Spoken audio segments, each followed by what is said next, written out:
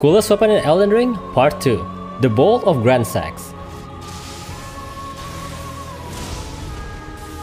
To get this item, you simply have to go from the Erdtree Sanctuary, go from Disgrace, and then once you found this very huge spear, which is the Bolt of Gransax itself, simply just jump down here. And there we go, just slowly walk up here and then the item should be over here. Just be careful of the archers though. Do note that this item will not be available in endgame, so make sure you guys get it right now. Follow for more.